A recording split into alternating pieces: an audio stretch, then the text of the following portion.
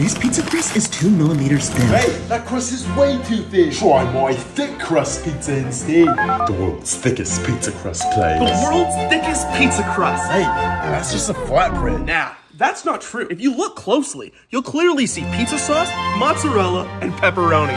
A classic combination. Wow, great, thanks. And there you have it, the world's thickest pizza crust. Mmm, that's the perfect amount of pineapple.